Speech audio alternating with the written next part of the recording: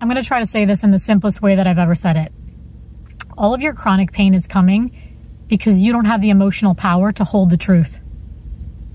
So the truth is unfolding exactly in front of you.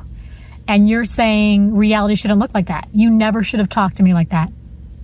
You never should have done that to me. I can't believe that those things happen. These things definitely need to stop happening. Those things shouldn't happen. And reality is saying, okay, that's what your brain thinks. And yes, it is a mighty, mighty three pound blob of jelly, but it is not more powerful than reality with a capital R. And so reality is saying, what are you going to do about it? And you do have the power of will, and the power of will is extraordinary. And you use that power of will, if I may, you misdirect it. And so you think if I can channel all of that energy to make other people be different, I won't have to feel feelings I don't want to feel. And so you start to over explain and over communicate and over analyze and over give and over function. Well, at some point, we've got to take honest inventory of our life and saying, is that meaningfully making us feel better or is it just exhausting us? And so reality presents us with a very, very powerful question. This is what free will means.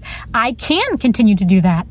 Or I can say, let me build the emotional infrastructure, the emotional capacity, what I call emotional power, so that I am so expansive and so steady that all of reality can pass through me.